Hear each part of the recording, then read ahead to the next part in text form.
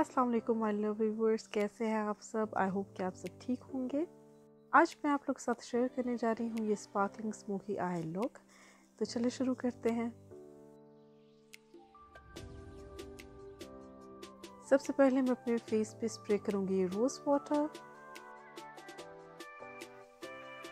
उसके बाद मैं अपने फेस को मॉइस्चराइज करूँगी निविया सॉफ्ट के मॉइस्चराइजर से।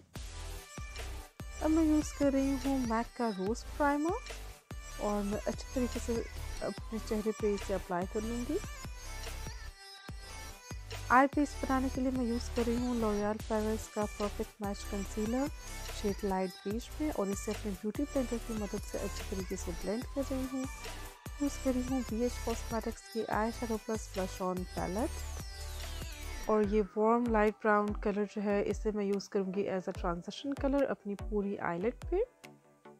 सिर्फ़ आईब्रो का आर्ट जो है वो आपने छोड़ देना है और बाकी अपनी पूरी आईलेट पे आपने ये कलर जो है अप्लाई करना है राउंड मोशंस पे। अब मैं यूज़ करूँगी एक पिंकिश ब्राउन शेड। और इससे मैं अप्लाई करूँगी अपनी आँख के आउटर कॉर्नर पे।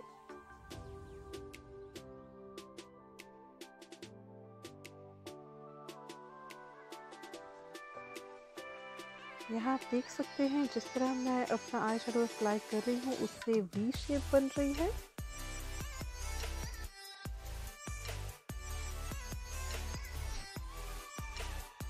अब मैं यूज़ कर रही हूँ मनहैटन का gel eyeliner shade D black में। और इसे मैं एक फ्लैट ब्रश की मदद से अपने आईलेट के बिल्कुल सेंटर में अप्लाई करूँगी। यहाँ आप देख सकते हैं कि मैं बिल्कुल छोटे छोटे डैबिंग मोशन में आईलाइनर अप्लाई कर रही हूँ। और जितना हो सके सिर्फ़ सेंटर में अप्लाई कर रही हूँ।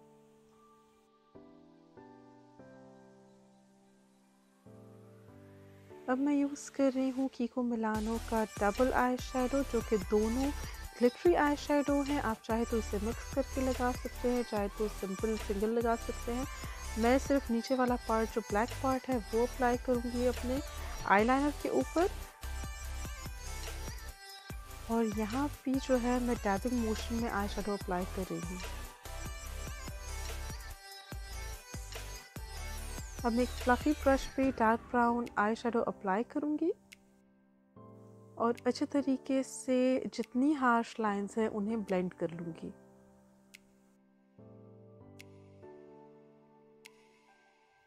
यहाँ आप देख सकते हैं कि हार्श लाइंस जो हैं, वो ब्लेंड हो चुकी हैं काफ़ी हद तक। मैंने आईलाइनर अप्लाई कर लिया था, लेकिन कोई विंग अप्लाई नहीं किया सिंपल आईलाइनर लगा लिया है। अब मैं यूज़ कर रही हूँ मैक की हाइपर ग्लो हाईलाइटर पैलेट और इसमें से जो लाइट गोल्डन शेड है, वो मैं एज अ हाईलाइटर अपनी आर्च में अप्लाई कर लूँगी।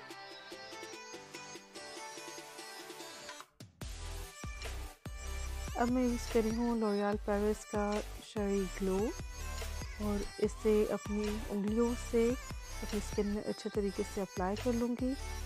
यहाँ मैं यूज़ कर रही हूँ कैट राइस का high coverage anti red concealer और जहाँ जहाँ मेरी स्किन पे एक्नी मार्क्स है या रेडनेस है उन पर अप्लाई करके ब्यूटी ब्लेंडर से ब्लेंड कर लूँगी।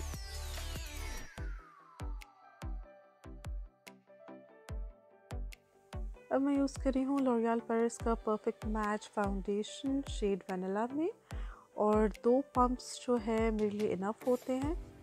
इसे मैं ब्यूटी ब्लेंडर की मदद से अच्छे तरीके से अपनी स्किन में अप्लाई कर लूँगी।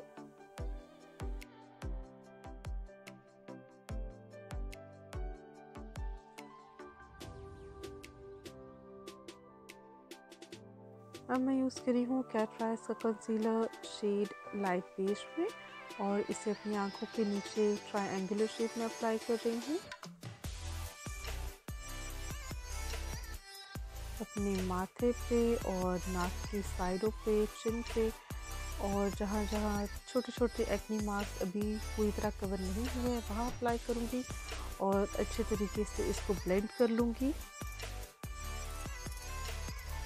जब भी आप मेकअप करें, अपने मेकअप को इतने अच्छे तरीके से ब्लेंड करें कि कोई भी हार्श लाइन्स जो है वो ना रहें। अब मैं यूज़ कर रही हूँ मैनहट्टन का soft compact powder shade light beige में और एक फ्लफ़ी ब्रश से मैं इसे अपने चेहरे पर अप्लाई करूँगी टैबिंग मोशन में।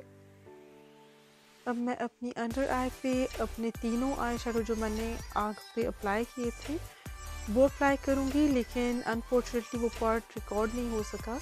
तो यहाँ आप सब देख सकते हैं कि मैं ब्लैक आई शेडो अप्लाई कर रही हूँ, लेकिन मैंने तीनों अप्लाई किए हैं।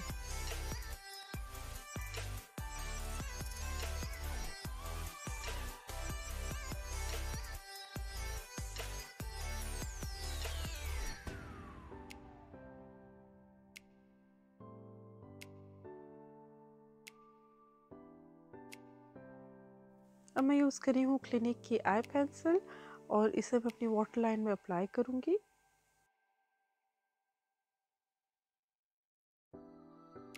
अब मैं यूज़ कर रही हूँ लॉरियल पेरिस का पैराडाइज एक्सटैटिक मस्कारा अपने पॉलिसीज़ पे। अब बारी है कॉन्टोरिंग की, जिसके लिए मैं यूज़ कर रही हूँ बी एच कॉस्मेटिक्स की स्टूडियो प्रो कॉन्टोर पैलेट और उसमें से एक मीडियम डार्क ब्राउन शेड मैं अपने फेस पे अप्लाई कर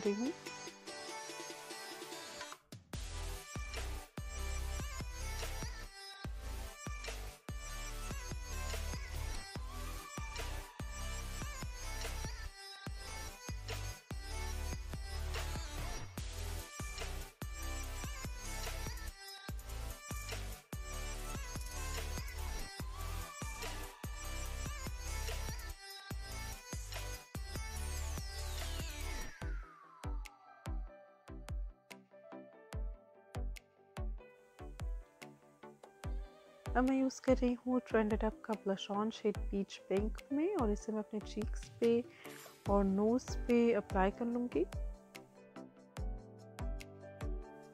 अब बारी है मेरी फेवरेट पार्ट की मतलब फेस को हाईलाइट करने की, जिसके लिए मैं यूज़ कर रही हूँ मैक के hyper real glow highlighter palette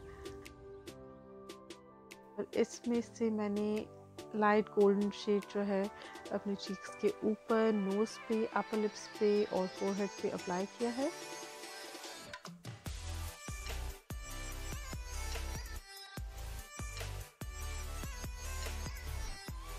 अब मैं यूज़ कर रही हूँ कैट राइस का आईब्रो जेल और उससे मैं अपने आईब्रो को सेट कर लूँगी।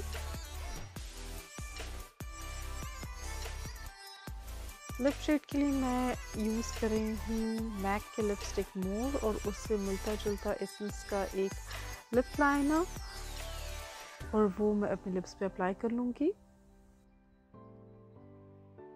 क्योंकि मेरी आइज़ बहुत ज़्यादा ड्रामेटिक और ग्लिटरी हैं, इसलिए मैंने एक बहुत subtle nude lip shade choose किया है, ताकि ऑल ओवर जो लुक है वो बहुत ज़्यादा ओवर ना लगे। जब भी मैं डार्क आई शेडो अप्लाई करती हूँ, उसके साथ मैं लाइट लिप इस्तेमाल करती हूँ, थोड़े न्यूट से ताकि एलिगेंट लुक आए।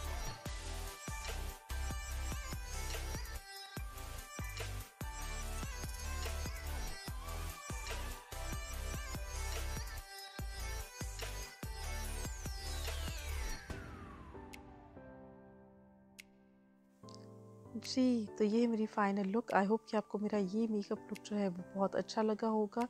प्लीज़ मेरी वीडियो को लाइक करें चैनल को सब्सक्राइब करें और नीचे कमेंट करें कि आपको मेरी वीडियोस कैसी लग रही हैं. मैं आप लोगों से मिलूँगी अपनी अगली वीडियो में एक नई लुक के साथ. तब तक के लिए अल्लाह हाफ़ खुश रहिए और इन्जॉय करें.